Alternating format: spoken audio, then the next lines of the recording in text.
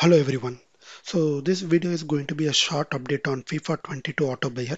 So many people were messaging me about asking when I'm going to update my bot to work with FIFA 22. The thing is the update is being already released so you guys are just not aware of it. So if you take a look at my repository uh, like this release was released 22 hours ago so it already have support for FIFA 22 the only thing is uh, it has few issues here and there which I will be fixing in upcoming days.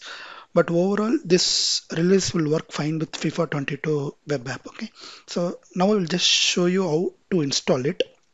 So for the script to work you need something called Tampermonkey. So you need to search it in uh, Chrome Web Store. So this link I will give it in the video's description for those who don't have Tampermonkey already.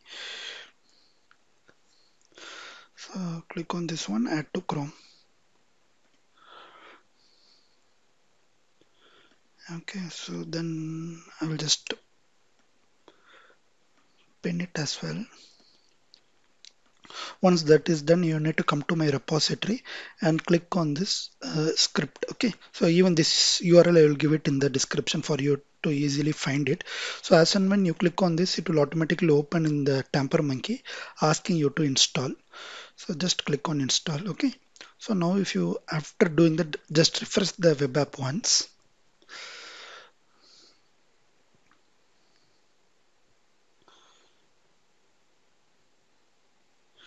Now you should be having one more option called auto buyer in the web app. So uh, rest all is uh, still the same like you can save a filter, load it again.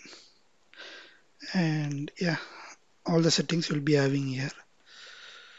So this is what I wanted to cover in today's video for people who don't know the update is already released.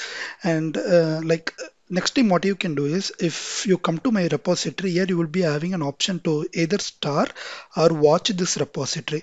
So if you have a github account what you can do is you can star this repository or watch it so that if there is any change you'll automatically get the notification. So you no need to manually ping me pinging me and ask when the update will be coming up okay?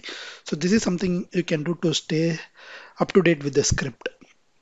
Uh, as always you can subscribe to my youtube channel as well because whenever i upgrade my script i used to uh, make a video on that as well telling what all changes i did. So these are the two ways you can uh, like always keep up to date with the script okay so thanks for watching if you face any issue or uh, if you are looking to add some more feature either you can create a issue here if you have a GitHub account or uh, you can always contact me in my Discord or through email. So I will try my best to reply to everything. So sometimes if there are more messages, it might take some time for me to reply, but uh, I always try to reply for all the messages. Okay. So thanks for watching. Have a nice day.